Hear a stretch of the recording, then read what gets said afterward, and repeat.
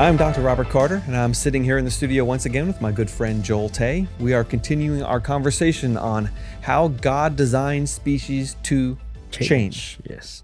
In the first part of this video series, we talked about three myths associated with the creation account of Genesis.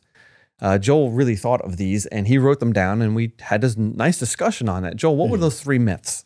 But the first one is this idea that God created all species as they are today. In other words, they did not change. Yeah, the fixity of species is, is the Yes, old term. that's right. We certainly don't believe that, and the Bible does not teach that. Yes. What's the second one?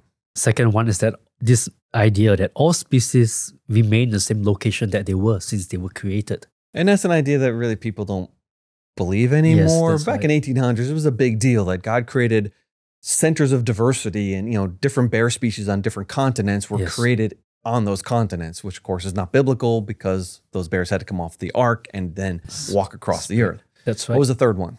so, Rob, the third misconception is this idea that God only created two of every living creature. Oh, that's huge. It's huge because that changes everything. Because we know he created two humans. Yes, that's right. But what about oak trees? That's right. What about right. earthworms, Yeah. copepods in the ocean?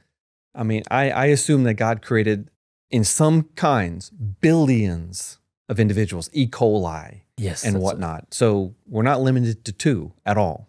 And that changes everything because people have this idea that creation is you don't have much diversity and evolution is they have lots of diversity. Yeah, but it's the opposite. It's the opposite because evolution believe in common ancestry of all things. So all things have to start off with a very small group of individuals that then diversify into the That's modern right. ones. Yeah. But um, God could have created created many animals from each created kind Yeah. at the beginning. Yeah. and as we'll talk about later, Mhm. even if he only created two humans, that's plenty of potential genetic diversity to explain all the humans alive today easily. But Yes. we'll get to that later. all right. So those are the three things that we covered in part one, the last Okay. time we were talking together. So And we are going to cover um, many more things about how we can explain the great diversity that we see in know, DNA and the genome. And we've been writing about this literally for decades. I mean, Carl Wieland, the founder of Creation Magazine, way back in 1991, Yes, that's right. wrote an article about front loaded uh, genomes, essentially, that the idea that God put into his creation the ability to adapt and change over time. Yeah, so this is very much a creation model. Very much so. Yeah, For what, 91, 2000, 30 more years now. I mean, this That's is right. Well within uh, the creation model, that's the idea that species change. And yet it still surprises people Yeah. to hear it. Yeah. Mainly because a lot of the trolls on the internet want to trip people up. It's like, oh, you believe in change, therefore you believe in evolution, which of course is false, but Mhm. that's the way the conversation usually goes. Okay, so we're talking about front-loaded genomes. That is God creating um, our DNA with the ability to diversify and with lots of variation in there Yeah, on purpose. on purpose, right? Okay. More recently, Dr. Peter Borger wrote an excellent article in our Journal of Creation, and he used a very complicated phrase Yes. pluripotent baranomes. Ooh, what on earth? All right, what's pluripotent mean? The pluripotent is this idea that a cell can differentiate, it can change to many different things. So when we're talking about cloning and Stem cells. stem cells, a Yes. pluripotent cell can turn into any other cell type in the body. That's right. So yeah, like you mentioned, so pluripotent stem cell by changing the conditions it grows can become any other cell in our body. Okay. So pluripotent baranome. Yes, that's Or- another Well, big one. bara is the Hebrew word for create. Yes. And I think nome is a play on words as in genome. Yes, genome. Yes. So it's it's a created genome, but not in one individual, within all the individuals in a kind. So in the sense, when we talk about a, a baranome, for example, we can talk about the cat baranome, which include the cats, the tigers, the lions, all of that genetic diversity in the created kind is a baranome. So we have a pluripotent baranome. In other words, it's a genetic system spread out amongst multiple individuals with a capacity to change over time. Mhm. The difference here is a created system. God deliberately created it so that his species would morph. They could adjust to new environments or just new features could just pop out of nowhere just for the created love of it. Yes. Okay. So, Rob, you mentioned in your writings that this created baranome has a tolerance code. What's that? As long as you don't exceed the design specifications, that individual organism can survive. So when God, the ultimate engineer, created life, Mhm. he created it morphable and adaptable within boundaries. okay. So like an aardvark can't suddenly lose its legs. Can't lose its legs. No, because it won't be able to live. It won't be able to walk. It won't be able to find food. It would die. It would have exceeded its design specifications. Mm-hmm. But it could change color. Mm-hmm. It could grow a little bit longer, a little bit smaller, maybe grow a longer snout, a longer tongue. All the, you know, just little slight changes, piece of cake, no big deal, easy to account for in the creation model. Mhm. But there are limits to the amount uh, that you can change something before you break it, and that's the difference. So, Rob, how did God front load no, each created kind to diversify? You know, I discussed this in my article. There are a lot of different ways. The Uh-huh. easiest one to understand is just genetic diversity. what, what do you mean by that? He, he put a lot of genetic variation, or he could have put a lot of genetic variation into one particular created kind. Mhm. And some of that variation could be hidden. What do you mean? I mean, how, how can it be hidden? Well, imagine that. Um, well, let's go back to the, the example of Jacob breeding the streaked and speckled dark sheep from an all white flock. That white flock was hiding phenotypes, it was hiding all those dark colors. And you don't see them because the dark colors in sheep, strangely, are recessive. Uh-huh. So even though all the sheep are white, well, there's dark hiding in the genes of the flock. Yes. And so as reproduction is happening, sometimes an individual sheep inherits both copies of the dark gene and all of a sudden it doesn't look white anymore. okay, so it's a recessive gene issue here. Yeah, recessive gene. And imagine that there's a recessive gene at a very low frequency Okay, within the created kind. within a, a created kind. yes. And maybe a thousand years later, all of a sudden a black sheep pops out. Where'd that come from? Well, it was there, but when God created it, He created that gene only in one or two individuals. It took a long time before one of them popped up with two copies of that gene, and all of a sudden you have a brand new phenotype. And that's what we call heterozygosity. The Two het- different copies of the DNA. yes, same but the for the dark one, you had to be homozygous. You have to have two copies of the same gene. I see. And that could be happening all over the place in any number of different created kinds. You can get all sorts of change, I mean, size change, color change, behavioral changes, just because God hid initially recessive genes and you would never see them maybe for a long, long, long time. So this idea of um, heterozygous alleles brings us to our next point: recombination. So Ah, what's that? recombination. It's another way to generate brand new phenotypes that were not even in existence. God didn't have to create them at all. He Mhm. could allow for them to form later. So the examples I gave in the article, I said, imagine we have some dogs Yes. and there are two genes. One gene affects height and the other gene affects muscularity. Yes. And let's say that God initially created chromosomes that either had the tall and muscular genes Uh huh. or the short and thin genes. Hmm So there weren't any combinations of either tall and muscular or short and thin. So you had something like a mastiff, Yes. tall animal, lots of Yeah. muscles, and something like um, a chihuahua, Small, skinny and, and small.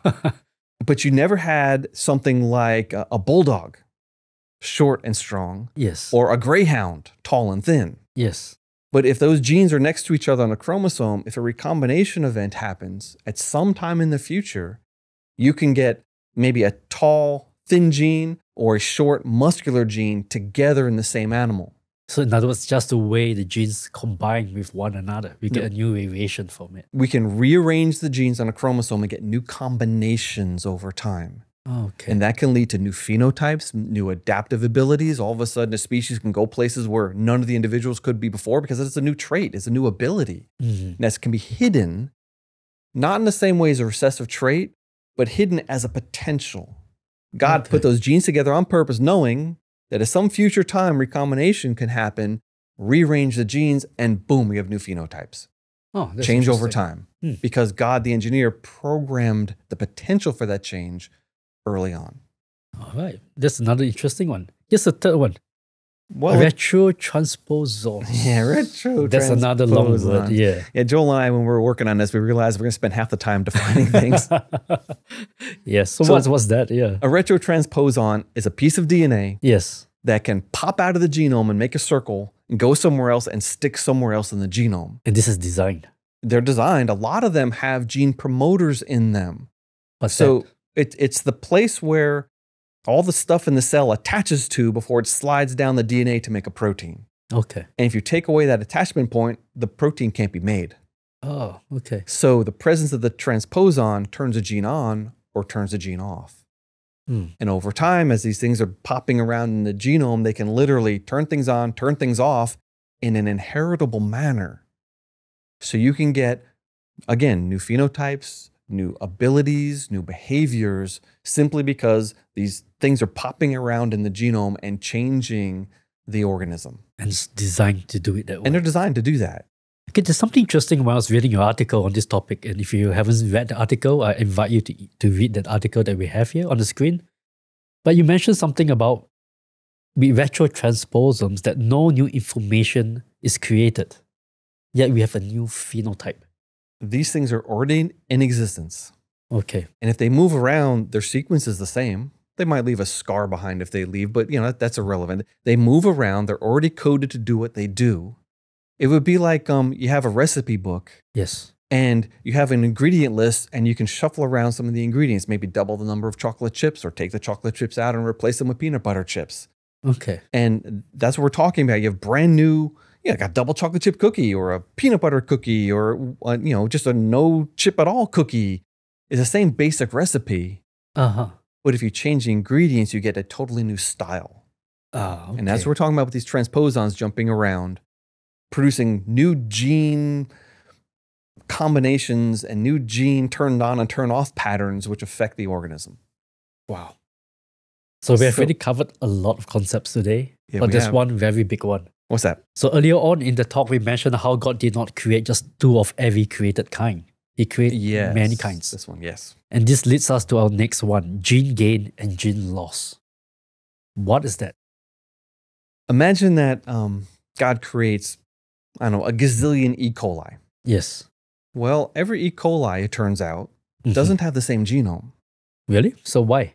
Because if you're a a bacteria and you're living in an environment where there's another bacteria producing something that you need, Yes. well, what happens if your gene for that gets deleted? Hmm. It doesn't matter because you can absorb it from the outside.